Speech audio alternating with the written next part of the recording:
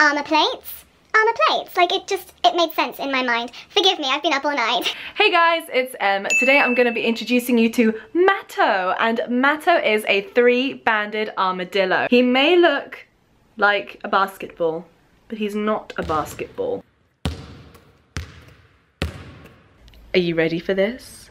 Dun dun dun dun dun dun dun dun dun dun dun dun Hola, bom dia. Mato is a three-banded armadillo. He's called a three-banded armadillo because he has one, two, three bands on his back. And he is the only armadillo in the world that can roll into such a spherical shape. Look at that. That's just an impenetrable force field right there. Um, you also, if you're holding armadillos, have to be very, very careful not to trap your fingers on the inside. Because believe me, if you trap your fingers inside, you're not going to get them out anytime soon. And it's very, very painful. I may speak from experience. We were all interns once upon a time, okay? Now, Mato would come from South America. He would occur throughout Brazil and Argentina. In fact, they're mostly plentiful in Brazil. However, there's lots of different species of armadillo. There are actually 21 species of armadillo, and they range from the giant armadillo, which is about five feet long, or about a meter and a half, all the way to the tiny little pink fairy armadillo and it is the cutest thing in the world. It would be a dream come true if I ever got to meet a pink fairy armadillo. It's a pink fairy armadillo. So up here on his armored back, this is called his carapace and it's made of leathery bony plates covered in really tough skin as well as keratin, just like our fingernails and our hair, keratin. I don't know if you can see, but Mato does have an eyeball just inside there. However, on this side, he's actually missing his eyeball. His right hand side eye was lost in a freak accident. Nobody knows how it happened, but what we think happened is one of his armored plates on the side here may have caught it and aggravated it, but he had to have an operation to take the eye out. He's not in any pain now. He's absolutely fine. He can still see with his other eye. I can see your eyeball and I also see your soft belly. Look at that. He's actually got hair underneath his belly. I'm just to pop him down for a sec because he's getting a bit uncomfortable. So he does actually have a very soft belly and hair on the inside. He is a true mammal. A lot of people think that armadillos might lay eggs. They don't lay eggs. They're a true placental mammal. They give birth to live young and then they have to feed their young on milk. Obviously Mato doesn't because he's a boy. But if they were a female, they would give birth to young and nurse them from teats, feed them milk and raise them up for a couple of months. Recently there was a famous incident in the news where someone tried to shoot an armadillo for fun. Apparently, the bullet ricocheted off of the shell and back at that person who ended up going to hospital.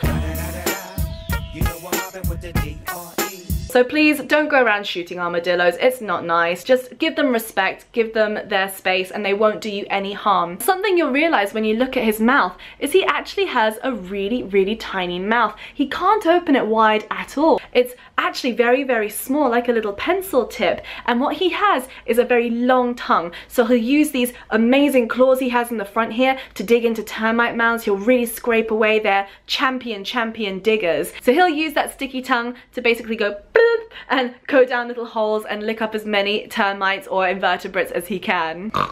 That said, he's not insectivorous. He's actually omnivorous, so he will eat a whole variety of different foods. He will eat things ranging from carrion, which are dead animals, all the way to different fruits and vegetables, as well as invertebrates as well. They're very opportunistic and they're not really very picky. So what we feed them is a sort of mashup of apples, carrots, chicken breast, Vionate, which is like a, a vitamin supplement. Now, obviously with Mato, his defense is to turn into a tight, impenetrable ball. He's kind of relaxed at the moment, but if you wanted to, you wouldn't be able to see his face at all. It would be completely balled up like this and you wouldn't be able to get him. But other species of armadillo can't do that because it's only the three-banded which can roll into a true ball. But other armadillos do have a very cool defense mechanism. Because they all have the amazing ability to dig, if they sense danger, some will just dig a really quick little hole and hide their bodies there flat to the ground so it's just their carapace, this top part peeking out above the ground and the rest of them is safe beneath the ground.